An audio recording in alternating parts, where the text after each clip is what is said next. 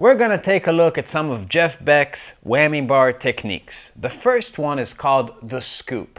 Now, here's the scoop.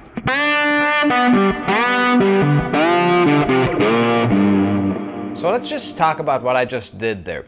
The whole idea of a scoop, just like in vocals, is to go under the note and then up in it. So you basically start flat and you go up and stop at the pitch. But you want to make sure that it's a grace note. So a grace note is a note that doesn't have its own rhythmic value. If you use rhythm with it, then you're basically just using a bend. Here's an example of using it rhythmically.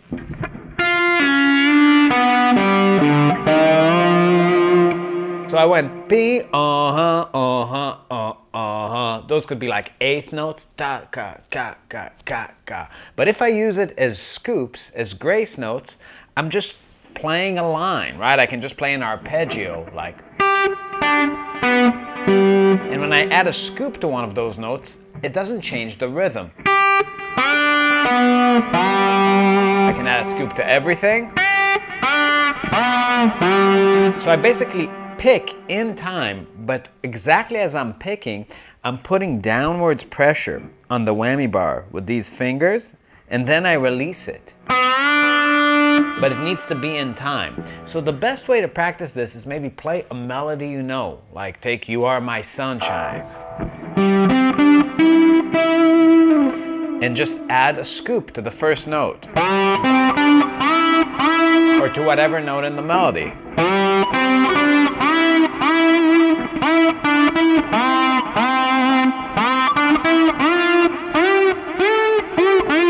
Right? If you do it a lot, it sounds kind of like Steve Vai-ish, but if you do it some, then it sounds really good and adds this expressive element. Jeff Beck is a master of it, so he's able to do a lot with that just to color what otherwise would be normal stuff, like a minor pentatonic.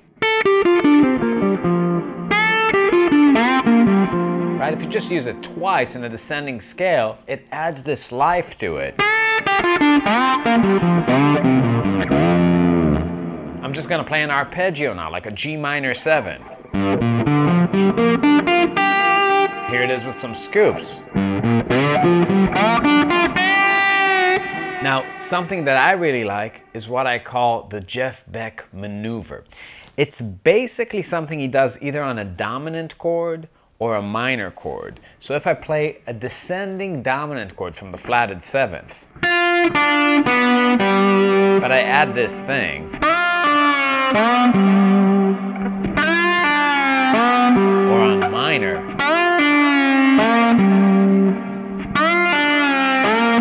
so what did I do? I started with a scoop on the flatted seventh, pulled off to the fifth, bend the bar down. Now, it doesn't have to be exactly a half step down from the fifth. There's a really juicy range of out of tune goodness there.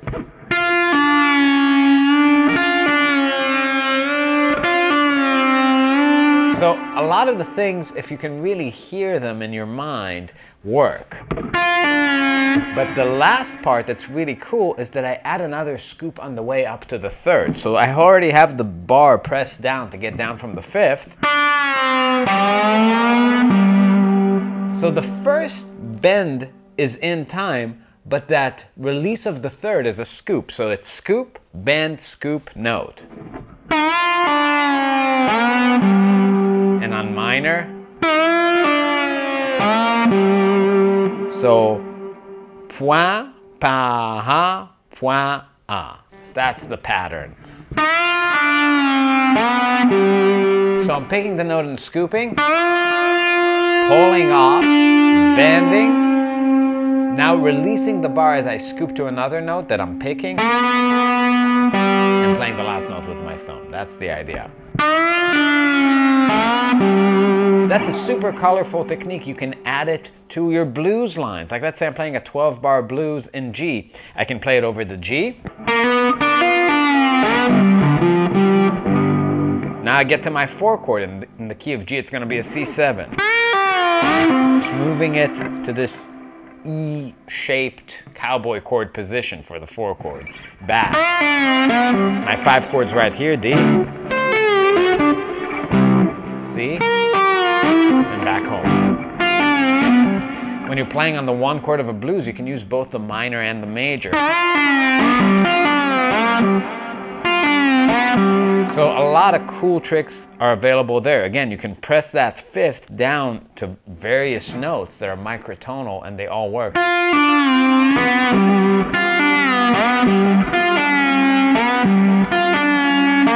See if I just do it very slightly or dramatically.